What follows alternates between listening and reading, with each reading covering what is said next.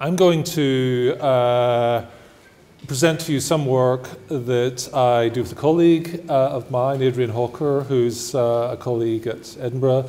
It's about, um, well, a kind of a practice, occasional practice we have uh, called, called METIS. Um, and I'm going to structure this through a uh, presentation of a, a retrospective exhibition that we had, first of all, in Denmark and then in some other places um, some years ago. So I'm going to talk about I'm going to talk about seven projects, but I'm also going to talk about the exhibition itself as a kind of a project. And so um, I'll try and try to say some things about questions of exhibiting architecture uh, as well, and the attitude we took toward the retrospective, making a retrospective exhibition. Um, so can people hear me okay, actually? It's, I, am having, yeah, is it okay? Is it coming across clearly? Okay, so I don't know if people know the architect school in, in Aarhus in, uh, um, in Denmark. This is the, uh, they have this uh, sort of nice exhibition space which they use. It's quite a big school and they use it for, uh, for various events and for end of year shows and things like this and um, visiting exhibitions. So you can see two, um, two slides uh, of it from the first time I visited. The one, the one on your left is um, obviously a you know, lower level view, which uh, shows it shows it's a top lit space. Um, it's quite a it's got a big space, and then it has this balcony that runs around the top, which you see from above. So we were invited by the curator Karen Kiergaard to uh, make an exhibition uh, of, uh, of our work over previous years in this in this space. And so, so one of the first questions I think was how, um, how we could you know, engage the volume uh, of the space and work with the, work with the scale. Uh, and this was a very early um, sort of uh, drawing, I suppose, that was made uh, based on one of these slides. So uh, the thought at this point was to um, establish some kind of drawing or mapping uh, on the floor of the seven projects that we would show. And then uh, at this stage, we were thinking almost of a series of vitrines that drawings and models of the project would be shown in. So almost making a raft um, within, the, um, within the space. And this gradually developed into the idea almost of, uh, instead of having a vitrine, uh, of having a, um, a display table um, in which uh, uh, a number of drawings would be shown. We had three sheets of drawings for each project and a single model. And, and this was one of those sort of serendipitous things that, comes, that come out of things that you find. And it happened that the, um, uh, the gallery had uh, some very large glass toughened sheets um, that we could sandwich drawings between. And this, this eventually led to the idea of a kind of, um, uh, a kind of exhibition which, uh, in which everything would be shown on a horizontal surface. There would be nothing that would be vertically mounted. Um, and then it would be about, uh, it would also, we were also interested in the idea of an exhibition that really didn't have a middle scale, that uh, things were very large or very small, within it. So you're either very close looking at things with the larger field in your peripheral vision, or else you are sort of standing back looking at these um, smaller objects within this larger um, uh, raft. Uh, and I suppose that came out of um, the reflections on how to, you know, kind of you know work within this um, within this the particular conditions of the of the gallery. So this was the drawing then that we, or the representation, the, the file that we made for the uh, uh, for the production of the of the drawing on the floor, uh, which which turned out to be made by a Danish textile company that had this amazing sort of printing process. Uh, so what's happening here is that there are fragments of the seven projects, which I'll uh, projects that I'll you know I'll tell you a little bit more about. Um, and that they come to interact with one another in, um, let's say, in a way that they hadn't before. I mean, we, we felt that uh, the exhibition should be uh, an opportunity to almost kind of resituate and resequence the projects in relationship to one another. Uh, so there different sort of differentials of scales that occur within this. So the the piece of clay, for example, that's on the upper part of the image is actually quite a small fragment of clay from an installation that we made, but it becomes expanded to be a kind of island that's, um, you know, that people can walk on and that uh, floats within the space. Uh, but I'll talk more about this shortly. So these were um, sort of tests that the, that the company provided. Um, I'm going to be going through the slides quite quickly just to try to give you an overview of the work and, and the ideas within it. Um, this is a view which shows the way the, the gallery works. So you see it has a kind of large auditorium in the center. You enter from the bottom and then you sort of walk through into the, um, into the, into the space behind where you then uh, step onto the, step onto the drawing. So we actually had to think away of a way also bringing people through to the back. So the exhibition text, the descriptive text, was set up as a kind of thread that, that led people through. So you come in from the left hand side and you follow the line of text reading it, and then it takes you around, around the corner to the, um, uh, to the drawings. And then this was the way in which the seven, um, seven tables were, were, were, were positioned. Uh, and although the, um, although the, um, the kind of organization of the representations on the floor. It's quite mobile and uh, is working with different kinds of projection and relating to one another in, um, you know, in, in, in, a complex way. The tables were thought almost as uh, they're, they're, very orthogonal. They work almost as um, you know anchor positions within this. Okay, so the first project I'm going to take you to is a project for, uh, uh, these are all sort of competition projects or installation projects. The first the first is for the um, sort of Great Egyptian Museum uh, competition, which ran, oh, I don't know how many years ago now, probably maybe 10, 12 years ago. Uh, this was um, this is a project for a site near the Giza Plateau, and it was the um, the brief was, you know, to make a to make a um, uh, a major museum project, which would be the which would basically collect together all the um, uh, all the Egyptological artifacts uh, and allow them to be held in a position close to the close to the pyramids. So we were interested. I mean, and I suppose one of the things that we do. Uh, so I should say we're. I mean, we're interested in architectural representation. We're interested in the productivities that of architectural representation and ways that one can discover, let's say, possibilities or opportunities within um, uh, particular conditions, representational conditions, which are not necessarily intentionally there, but which open on to kind of speculative ways of working with the um, with the with the images. So with this, uh, we were rather interested in this 19th century trig trigonometrical survey of the of the pyramids uh, and the way it draws a kind of geometric, based on the, on the crystalline forms of the pyramids, it builds a three-dimensional uh, geometrical net around this. And, and I suppose the initial idea was that, um, you know, what if we took the object at which this uh, net was targeted, not as being the pyramids, but rather as being something much more transient and ephemeral, such as the, the play of shadows on the, as it was conveyed through the competition documents in the pyramids itself and around the, uh, around the plateau.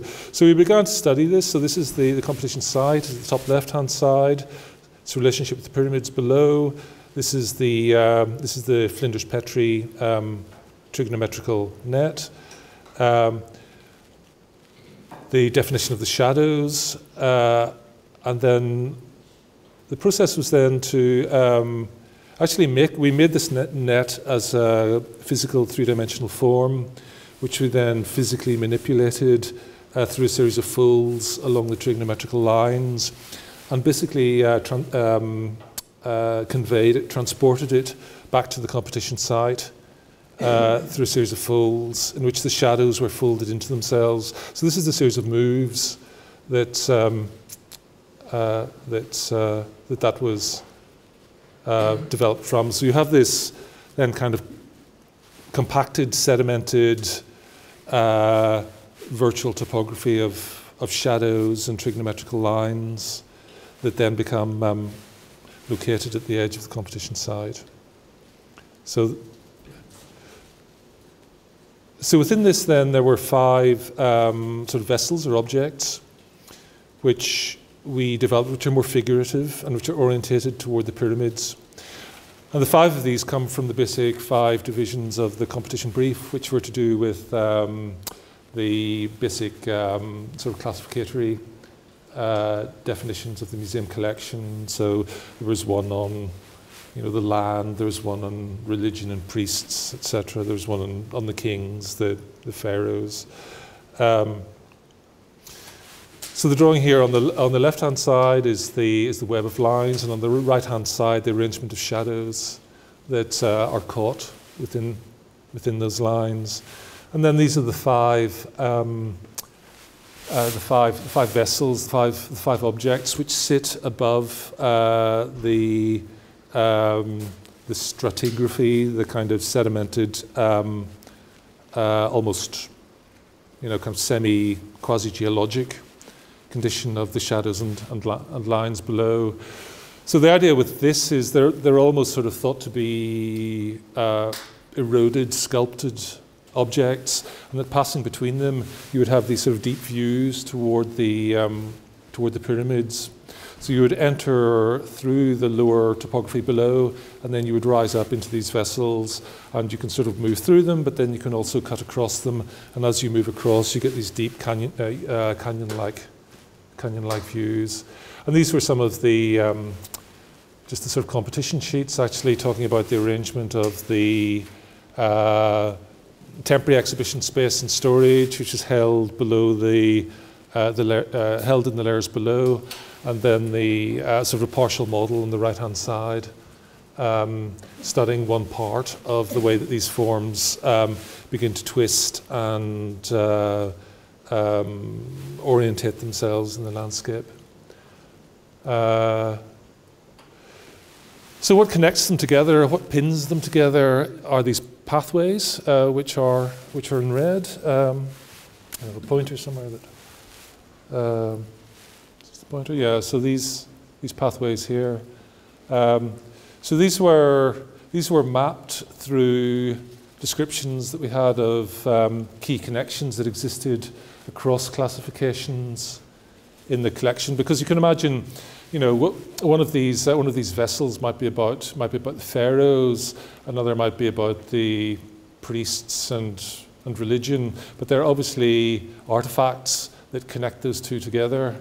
Um, so what we did was we used the description of that to uh, establish the set of um, of pathways or routes, which become a kind of physical structure which allows um, bridges to be made between the um, uh, between these pieces. And as you move across, you then get these sort of deep views down toward the pyramids. So this is actually a very small, um, very small cardboard model that we made to, to explore this. I mean, probably probably about that size. Um, and it's something. I mean, I suppose just as a general point, we enjoy working very much through models.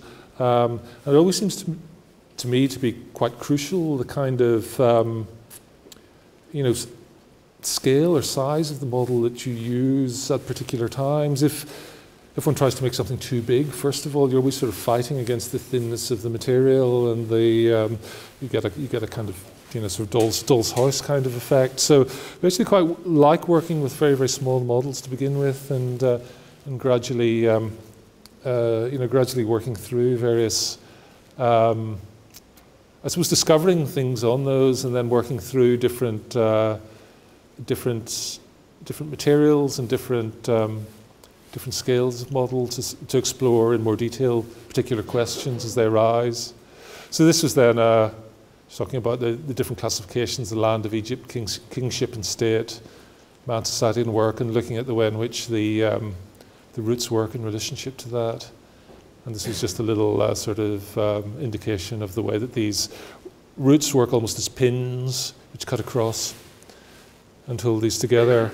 And then for the exhibition, uh, we, we, we remade the, uh, the larger scale sort of partial model and um, we made a decision. I mean, these, these were the, the um, when we were first thinking about working on this exhibition, we imagined, uh, not the exhibition, the, the, the, competition, we imagined the vessels almost as elements that had been weathered out of a single piece of, of material, like a kind of uh, rock that through the movement of sand and wind had been, um, you know, er eroded in a particular way. And so for the exhibition, it was important that the feeling of um, the kind of sort of monolithic quality of these was, was important. So we, we made these from a single piece of, of wood uh, so that the grain is always running the same way uh, in the model. And then the, uh, the shadow lines and cartographic lines were cut onto the, uh, onto the face of these. And then this is the folded, the folded plate below. And then the, the solid pieces were routed from below and um, elements inserted into that. It was quite challenging, sort of laser cutting these because obviously laser cutters are set up just to work on a single plane only, and uh, so uh, ourselves and Richard, uh, Richard's probably been here, hasn't he? So you might have met Richard Collins before. Richard, who worked with us on this, it was quite a complex series of sort of jigs and actually rather sort of frightening um, experiences with hands and the laser cutter that um, uh, allowed this to to happen. And then it turned into this quite highly sort of baked uh, sort of model at the end where the, you feel the, the laser cutter becomes the kind of environmental er erosion um, that, uh, uh, that. So these are very, very interiorized um, kind of spaces that open up at certain points to reveal the um, uh, spaces within, and then this is the folded topography below. So this was all about Sometimes this is open and there are sort of sheltered cafe areas and garden areas. Uh, there's quite a lot of occurs under the shadow of the vessels above, but you also, uh, one of the vessels um, slides down underneath the, the top plate, so you can kind of rise up out of this into the vessel and then you, you know, and then you move across. Okay, this is, uh, this is a project called Cabinet of the City, which was a um, competition project for a municipal um, gallery of art near Porta Pia uh, in the north of in the north of Rome. Uh, so here's here's Porta Pia up here. This is the old Peroni Brewery site, which is the site of the competition, and uh, it was focused on a courtyard behind two uh, stable blocks, which were actually the well, these were originally the blocks. I, actually, I think the stables were around the outside. This was the area in which the um, you know, the horses that took the, that carried the, pulled the carts that uh, used to carry the, you know, the, the produce around the city were, were based. And this, this, uh, the initial part of this was uh, worked through a kind of scaling um, procedure where we established an axis through the city uh, based on the orientation of this um, almost sort of galleria-like space, which I suppose with the office buildings actually, there's stables at the back. So this is projecting this way across the city. And then this field is set up through, uh, it's defined by the dimensional, the dimensional relations between the length and width of this space then define this field within the city.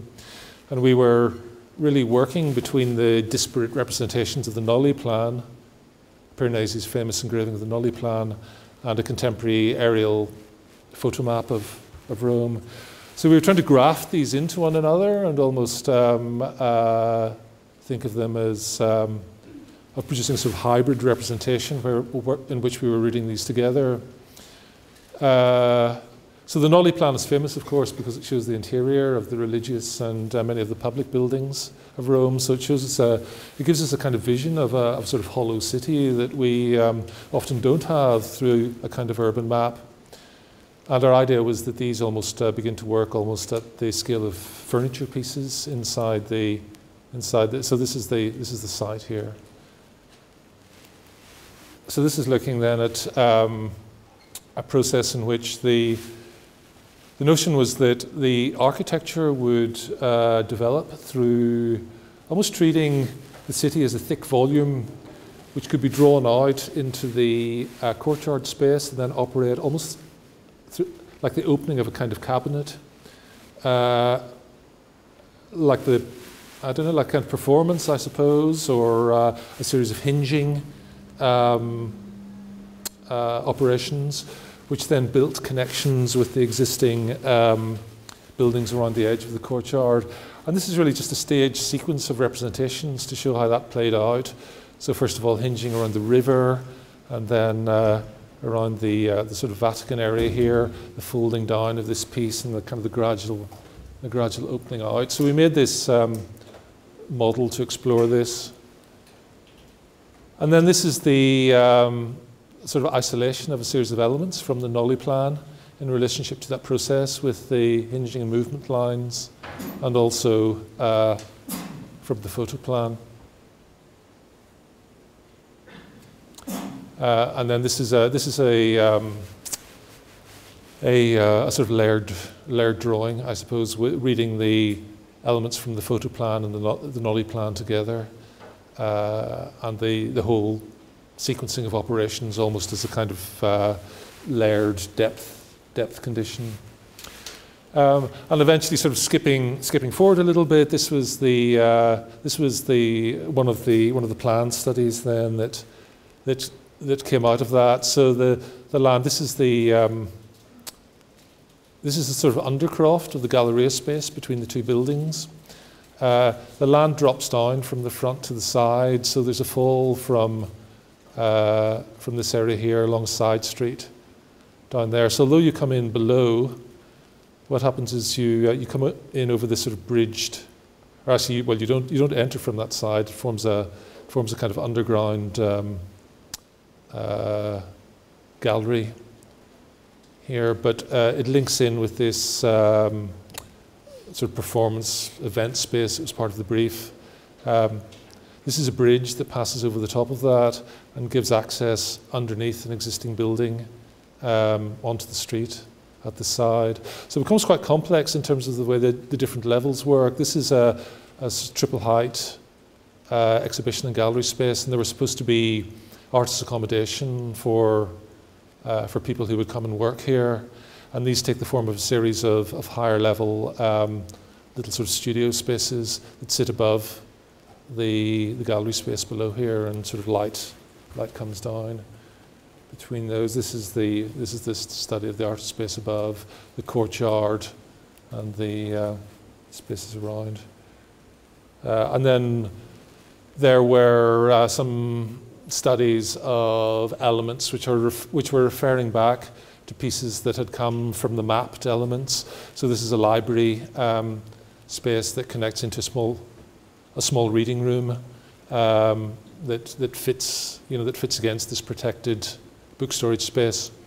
This is the, this is the librarian's uh, office here, and that, that bridge that crosses over the top of the performance space uh, is held uh, by this um, sort of structural piece that passes up from below and then passes out the other side. So these are the sections. This is the uh, this is a section through that curved book storage space that you just saw and the way that it works with the reading room. This is the event space below. Uh, this here below is that uh, is that bridge that crosses over the top. The artist studios above. Uh, this is the curved um, facade of the uh, of the uh, the book storage space, which sits up above the courtyard, so you can actually, you, you know, you can walk underneath this. And the, the, set of scratches that are made on the topographic surface become, become glass uh, or uh, um, spaces that you can see down and let light down below. This is, this is the area below the gallery. Uh, and the, the inner facade of, the, uh, of, that, of that gallery space. Um, and then this is the, the model that we made for the, I think this is in my view, probably the least successful of the models that we made for the exhibition, but we wanted to uh, make almost a, uh, uh, get across the sort of fractured series of, of, of, of pieces um, that derive from the, as I say, from that sort of mapped procedure. So this was a, uh, yeah, I think this model doesn't have, doesn't have the material richness of some of the other models, but, but anyway. Um, so it's partly a plan representation and it's partly a, a view of the, um, uh, of the way that the elements extend up and, uh, and, and, and work within the space. Okay, this is um, the third third project I'm showing you is um, uh, a project for uh, um, a gallery outside Seoul in, in, in Korea for the American Korean performance artist Nam June Paik. Uh, this is, a, this is a sort of early model that we made of this. This is in a very hilly area, and the idea is that the building works as a kind of um, uh, warping and compression of the topography of the landscape itself. So it's almost as if uh, a certain translation of the landscape is sitting inside the uh, is sitting inside the, um, the, the larger landscape of hills and undulations. And there are quite a lot of uh, routeways and walkways around the hills here, and the, the idea was that the building um, you know, connects with that and becomes part of the, uh, part of the, the way of moving across the landscape. So we were interested, what led to this was um, the, some of uh, uh, some of Paik's early work, where he was working with um, sort of television um, tubes, early television tubes, and placing strong electromagnets uh, across the electron um, stream, so that uh, you know, uh, you know, to produce the kind of um, anamorphic image, which a, a warped uh, image. This is a, I think this is called electronic opera. He did a very famous performance of uh, of a television address by Richard Nixon, in which he sort of performed with this, um, with this very powerful electromagnet and um, uh, sort of warp the image in relationship to the, to the, you know, to the words. So this is the way we sort of read this as a kind of process. Uh, I mean, this led to the idea of almost sort of treating the, the contour drawing of the landscape as a kind of, uh, as a sort of field, as equivalent to an, an electromagnetic field. And um, the way that the television worked was through a sort of a series of scan lines. Uh, so the, the field is organized through an equivalent series of, um, of vertical lines, which actually act as scan lines, and then through a process, the contours below are read as interfering with this, and then this produced this uh, process of compression into the, uh, into the site. So basically, we read the, we went through this process where we read the, the, the relationship of the angle between the, the vertical lines and the, uh, the contour field as uh, producing a series of deformations that were related to the angle across which they passed. So this is almost the rescreening then of the entire uh, distorted field into the site to produce a series of um, effectively kind of warped lines. This is a taxonomy of the, of the, uh, of the warping of the lines.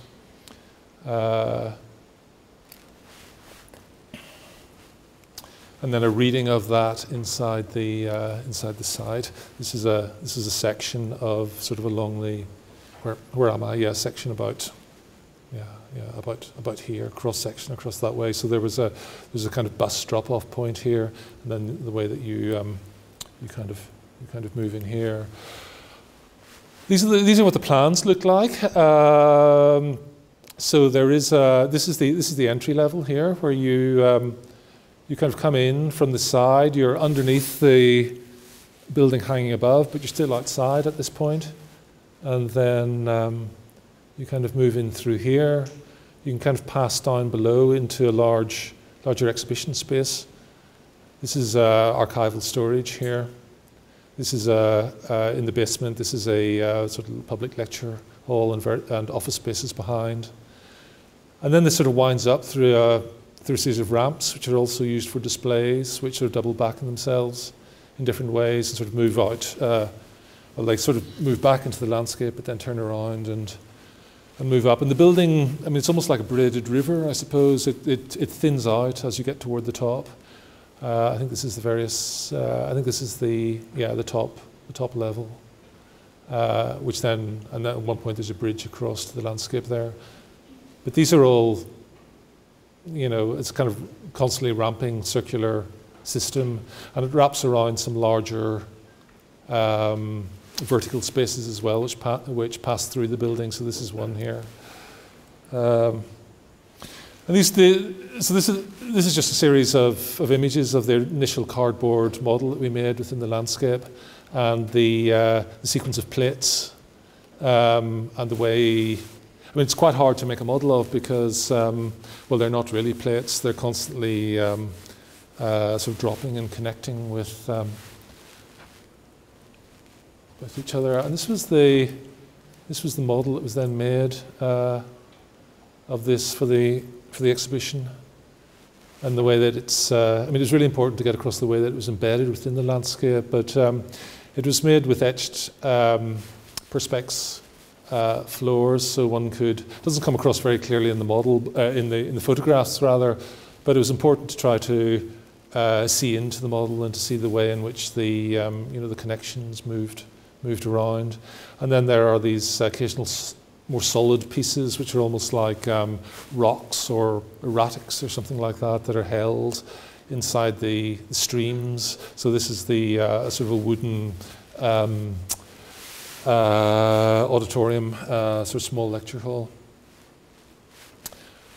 Okay, this is a project that Sophia knows well because she, she worked a little bit on it actually. Uh, this is, this is uh, this is a project for sort of bathhouse spa hotel for a disused, um, in the area of a disused neoclassical spa um, sort of bathhouse in Latvia, Liepaja, Latvia. It's very close to, to the coast, a large sort of beach area. This is quite a nice building uh, made by an um, uh, architect called Paul Bertschy, who worked at the, it's from about 1902.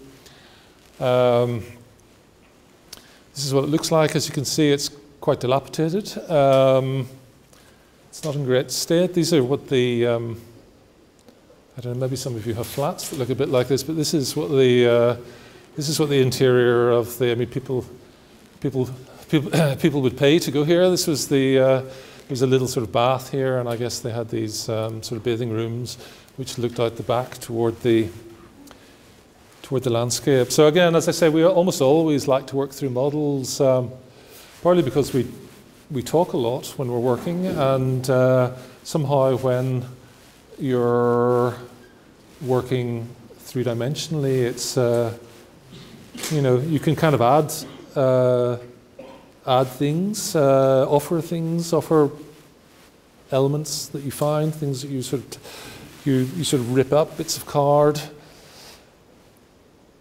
you know, and sort of develop the project in that way. So, I mean, the, the fundamental idea here is that the, the, new pro, the new building works as a kind of garden wall for this uh, aquatic uh, garden landscape that exists within. This is the old building. It sets, uh, sets a kind of measurement. I suppose the, the increment of the rooms sets, sets a kind of scale. Uh, the idea was that the rooms at the back would, instead of having the little baths in them, that they would actually be made into single pools in their own right, and that there would be new furniture elements that were uh, like wardrobes that you passed through and then step, stepped into the pools, and then you could move out through the windows into um, into these uh, sort of garden garden strips behind, which are strips of different different materials. So you know that beautiful moment in, I don't know, Scarpa's Querini Stampalia library where there's an old bridge, but you enter, Scarpa makes a new bridge into the building and it's alongside the old stone bridge, but you enter into the building through the window. The new bridge actually takes you in through, in through what was a window before. And you feel you're in this rather sort of magical situation in which it's like a, you know, an angel or, a, or something magical passing through uh, uh, you know, passing in a different way into the building. And then from that point, you have a shifted relationship with it. You know that everything is going to be subtly, you know, subtly transformed in some way, or potentialities in things that are there are going to be you know, shown to you. Um, so I suppose that was in our mind a little bit. Uh, so so there had to be an outdoor pool area. Uh, we wanted it to be responsive not just to people who were staying here, but also to people who are, you know, going to the beach. Um, so and, and and using the area more generally. So this was a kind of car parking area, uh, which had to be there as part of the brief, which is part of the wall. You, if you're staying there, you go and you check in. Uh, there's a walkway underneath this at the back, which I'll, I'll show you in a moment. Uh, and then you sort of move up through these staircases, which um, it's a bit hard to describe, but you, you actually go through the building, but you're, you're constantly outside and you come up uh, in these folds and then you enter into the accommodation above in either way. And then there are these long ramps which sort of take you down into the landscape. This is a sort of theatre above a pool, and there's an outdoor pool here has showers along one side, so people going to the beach can use the shower. And then there's a kind of boardwalk underneath this with um, uh, sort of restaurants and things that people, peop, you know, people, people can use. So it was partly about negotiating the, uh, the two worlds of the, of the, uh, the interior garden and the, uh, the beach and the, the pine trees that lead to the beach behind. So, th- so these are the strips of different materials, and we had, we had this idea that there might be little, I mean, the same way that, I don't know if you're familiar with them, but there used to be summer houses that people had in gardens, which were placed on turntables so that summer houses could rotate. I mean, they're very light, just made of timber, and they could, you know, maybe just little huts for one or two people, and they could rotate to the sun. So you had the idea that there might be little outdoor baths that sat within the landscape, just like cast iron baths, um, that might be recovered and could also rotate in a way. So this is, I'm not sure why I'm going back there, but this is, so the garden wall becomes a brick wall, um, which, uh, in which the, the bricks become um, parted at certain points with no mortar in the vertical joints. So they develop these lantern-like um, conditions around the side, and they also hold vertical circulation. That uh, so each of the there are two apartments in each of these, and they lead up to little baths which are on the roofs as well. One which looks down into the garden, and one which looks across toward the horizon of the sea. So it's like a continuous, um, you know, folded folded wall which wraps around. And this is uh, these are some of the drawings with the with models of the of the interior spaces. This is the way it builds up. Uh, the wall wraps around the, um, the, kind of auditorium at the end and the pool. The, uh, the, the accommodation spaces below, and then the way they sit on top of the, of the garden. So there's also so, so, so, these are now the sort of pool rooms which lead out. There's a sort of little conservatory space here. These are the baths and the landscape. And this is the way. So this is the ground floor now. So you see how this works. This is where you, uh, you come around here, you, you check in here. You're, you're on the outside all the time here, but you're underneath the building above. And then if you're, going, if you're going to your room, you walk along to the staircase. Or the, uh, you come up here, this sort of threads through the building. You come up to a point above this. There's a little landing above. So all these spaces below connect through through the uh, landings that you arrive at at the top of the stairs. And then from the level above, you kind of go into the rooms. But at this level, these are sort of sitting rooms or different, uh, different parts of the spa hotel that are, that are publicly accessible as well, because this is all an external space. You can sort of walk all the way publicly along the side. Um, and then this is, uh, yeah, this is just what it looks like. We have the, uh, this is the way the rooms work. You come in the top, you go in that way. They work as sort of um, a little bit like, well, I suppose we were thinking, you know, you know the plan of Corbusier's, uh, the rooms in the Unité with the, uh, with the mezzanines at the back. And so you have a double height space above. So this works both, both ways inside that. And this is what the, um, the kind of wall looks like with the bath spaces on top. So these are glass uh, elements at the end of each of the rooms, and then there's uh, this perforated brick wall which runs around the side. This is what it sort of looks like along the, along the side. Uh,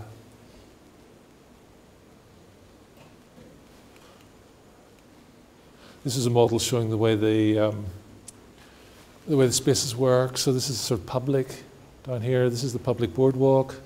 You go in. This is I'm not sure if this is a waiting area or a, uh, I think this is a library space actually, a little public library space. And then, but from the inside, you, uh, you come into your room, you come around the corner, this is the double height space, and then there's stairs which lead up to the sleeping mezzanine. And then, of course, the bathroom and stuff is at the, uh, underneath the mezzanine at the back. Oops, sorry, that's that.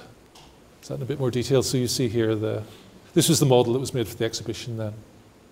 Um, See the way the perforated screen works, the way it wraps around. Um, sorry, this is. Uh, I think this is. I quite like this. Uh, this computer model because it gives it gives quite a good sense of the way the circulation, the different kinds of circulation work, and the way the staircase is going up to the room are held within the, uh, the thickness of the walls.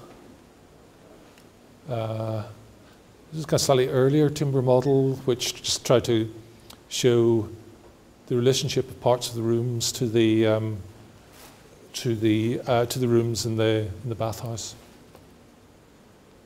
And then this is the model sort of sitting on the, uh, in, the, in the exhibition space on top of the drawings. So this is the way all the models worked.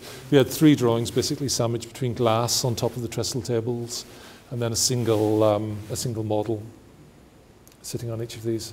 So I'm going to start and move a bit faster and not really say too much just to give you... Uh, this is a, an installation project that we were invited to make in the Lighthouse um, Architecture Gallery in Glasgow. This is called, called Laputa. It was based on uh, an episode from Jonathan Swift's um, Gulliver's Travels. Um, it's about clouds, material clouds, and um, fabric clouds. It's about wind and sails, about uh, the etymological relationship between clods of clay and clouds in the air. These are just uh, yeah, photographs of the it's about trying to make material things exchange properties, I suppose, and see different properties, see lightness in things that are very heavy, and see weight in things that are um, are light. So the whole thing was hung, was counterweighted inside the space of the uh, of the gallery with these fishing weights, these lead fishing weights, to make a kind of thick, um, a thick space.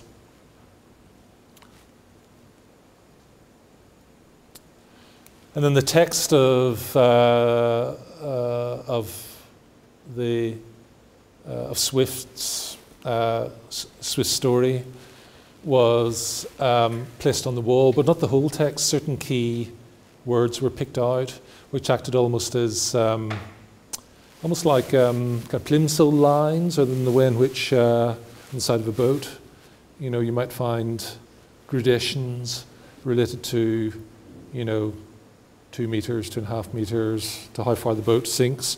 We, we wanted gradation lines like that, but more, but they were descriptive gradation lines. So hid the sun, shade of a mountain, cloud. Exit. So these, these all gain a spatial relationship with one another on the wall through the, um, through, through, their dimensional relationship in Smith in uh, Swift's Swift's text.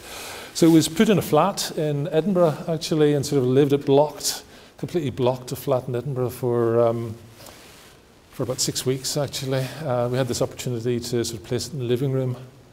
Uh, and quite a lot of people going into the flat didn't know that it was there, so it sort of uh, it was quite interesting there. Uh, so we just had a few remnants of the uh, of the installation. Uh, it's a project for Verona um, about things uh, about using a series of copying strategies from elements that are in the city, about uh, copying strategies that transform the things that are being copied. So, wrapping, so measuring and working with the uh, Renaissance wall of the city and kind of rewrapping that as a kind of wall structure into the side, working with, uh, uh, it was a series of four different things that were selected to produce uh, a, um, a, it was a series of facilities that were related to uh, an annual exhibition uh, that is held in Verona. But it also, is, it also was about providing new parkland as well. And I'll show you a more detailed model of this, which was um, parkland that was made on top of a series of old railway lines. And the railway lines provided a spatial structure for the park uh, through which these small pavilions, which we described as driftworks, have drifted and uh, anchored. So I'll note this was the, this is a sort of series of diagrams of the folding of the wall. Uh, this is about a series of excavated uh, spaces or buildings. These were the selection of um, elements from the existing railway lines and the way these little pavilion pieces drifted through and sort of began to block or act as gatehouses to smaller gardens. So they're active, they're small music performance spaces, bookshops, things like this.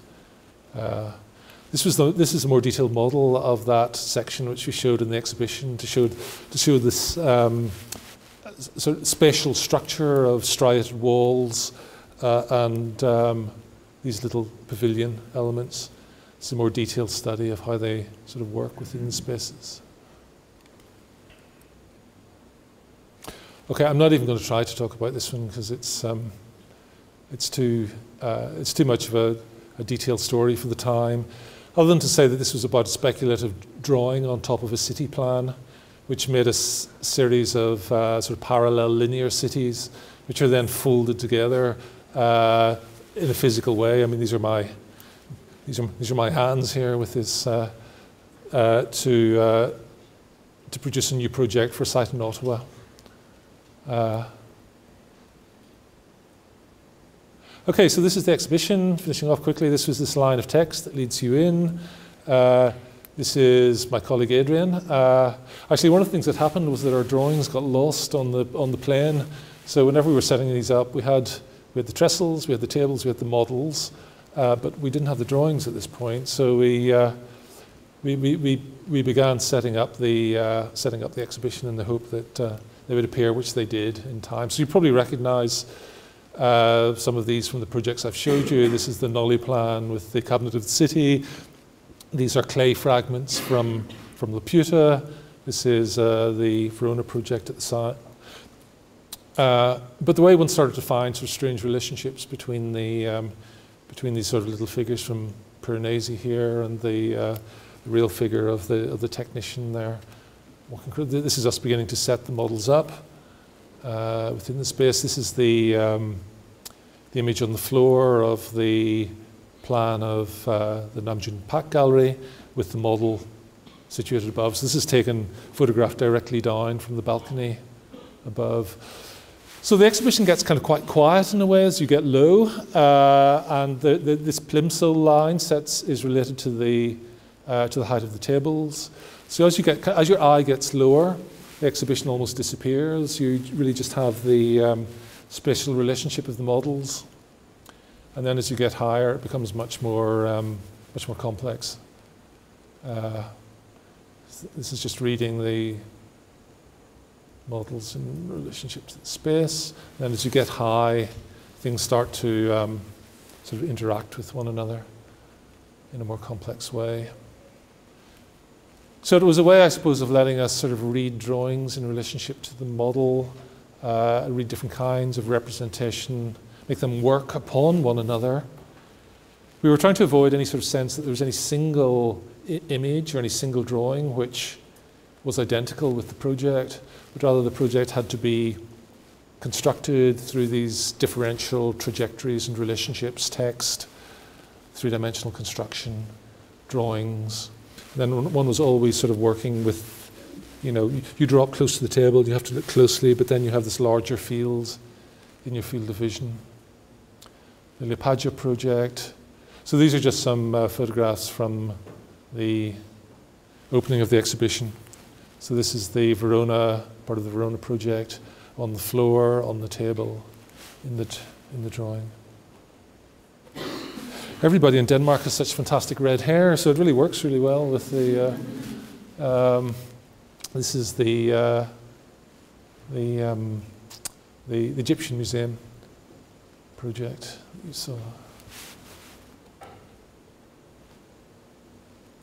And you find these sort of, you know, you find these. Uh, I mean, I suppose we wanted to set up a kind of reading room in a way where people read through moving and through walking and through finding, exploring it perhaps with their cameras, with their eyes, with their feet, with their, with their fingers, uh, and that one discovers.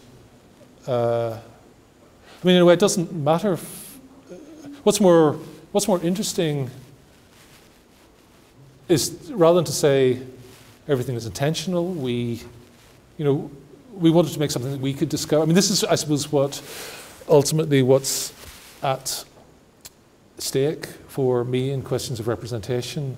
And what's interesting when you represent something is that you never do it exactly as you think you're doing it. You begin with a kind of intention, but there's always a kind of difference. I really feel strongly that no matter how much of a sort of master of a media or an art we are, we always find something surprising uh, in what we do. And sometimes what's surprising is more important than what we find confirmed back to us through the process.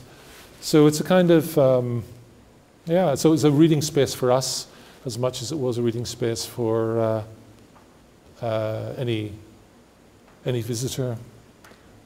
Uh, these are all just obviously photographs from the, uh, from the opening.